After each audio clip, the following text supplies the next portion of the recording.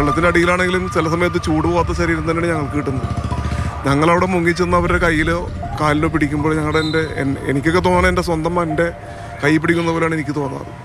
വളരെയധികം ഹൃദയവേദനയോടുകൂടി തന്നെയാണ് ഞങ്ങൾ ഓരോ ശരീരവും വെള്ളത്തിന് പുറത്തെടുക്കുന്നത്. ഒരിക്കലും ഞങ്ങൾക്ക് ജീവനോടെ ഒരാളെ പോലും രക്ഷിക്കാൻ കഴിഞ്ഞിട്ടില്ല. പറക്കമുറ്റ മുൻപേ നമ്മുടെ കുഞ്ഞുങ്ങൾ കയങ്ങളിലേക്ക് താഴ്ന്നു പോകുമ്പോൾ കൈപിടിക്കുവാൻ കഴിയാത്തതെന്തേ? ചേതനയേറ്റ ശരീരങ്ങൾ നമ്മോട് പറയുന്നുണ്ട്. ഇതിനൊരവസാനം വേണ്ടേ? മാതൃകാപരമായ ചില ശ്രമങ്ങൾ നടത്തുകയാണ് പറവൂർ അഗ്നിരക്ഷാസേന.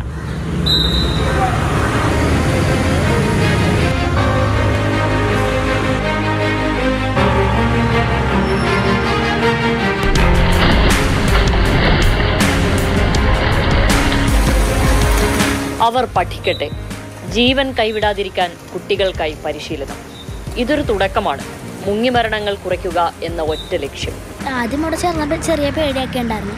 പിന്നെ പിന്നെ മാറി ഇങ്ങനെ നീന്താൻ പഠിച്ചു. സേഫ്റ്റിയും കൂടെ ആണല്ലോ അപ്പം എനിക്ക് ഇപ്പം ചേർന്നോട്ട് കാരണം നല്ലൊരു കോൺഫിഡൻസ് ഉണ്ട് നീന്താൻ. ഞങ്ങൾക്ക് ഇങ്ങനെ ഫയർഫോഴ്സായി ഇങ്ങനത്തെ ഒരു പൂൾ പോലെ തന്നുകൊണ്ടാണ് ഞങ്ങളിപ്പോൾ അത്യാവശ്യം പ്രാക്ടീസ് ഒക്കെ ചെയ്തു പോകുന്നത് കൂട്ടുകാരിൽ ആരെങ്കിലും ഒരാൾ അഥവാ എങ്ങാനും മുങ്ങിപ്പോയാലോ എന്ത് ചെയ്യും നിങ്ങൾ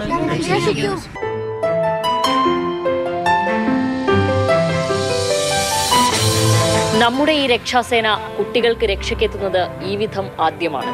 കേരളത്തിൽ തന്നെ കുട്ടികൾക്കായി സ്വിമ്മിംഗ് പൂൾ ഒരുക്കിയ മറ്റൊരു ഫയർ സ്റ്റേഷൻ ഇല്ല. ഈ വെള്ളത്തിൽ മുങ്ങി വരണം വളരെയേറെ കുറക്കേണ്ടിയിരിക്കുന്നു. അപ്പോൾ അവരെ നല്ല നന്നായിട്ട് നീന്താൻ പഠിപ്പിച്ചു കഴിഞ്ഞാൽ ഈ അപകടം കുറയ്ക്കാൻ പറ്റും.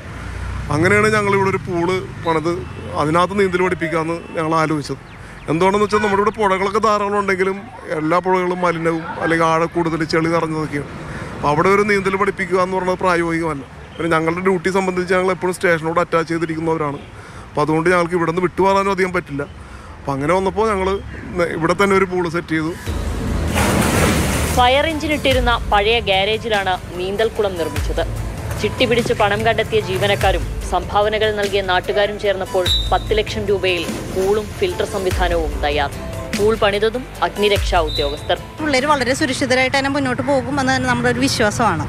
അത്രയും ട്രെയിനിങ് സാറ് കൊടുക്കുന്നുണ്ട്. വ്യായാമം എന്നുള്ളത് ഫുൾ ബോഡിയാണ് കിട്ടുന്നത്. ഈ നോർത്ത് പറവൂർ മേഖലയിൽ മാത്രം എട്ട് മുങ്ങിമരണങ്ങളാണ് ഈ വർഷം ഉണ്ടായത്.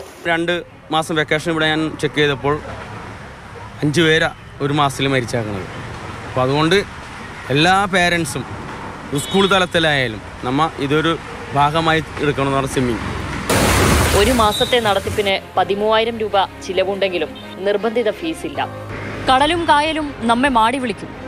കയങ്ങളിൽ വിലയം പ്രാപിക്കാനല്ല മറിച്ച് ആഴങ്ങളിലേക്ക് വലിക്കുമ്പോൾ നീന്തിക്കയറാൻ ഉയർന്നു പൊങ്ങാൻ ധൈര്യമായി സജ്ജമായി ഇറങ്ങിച്ചൊല്ലും. അപ്പോഴും ഓർക്കണം അറിയാത്ത നാട്ടിലെ വെള്ളം അപകടം ചെയ്യും. കൊച്ചിയിൽ നിന്നും ക്യാമറമാൻ സുജയ്ക്കൊപ്പം ശ്യാമലി ശശിധരൻ മാതൃഭൂമി ന്യൂസ്.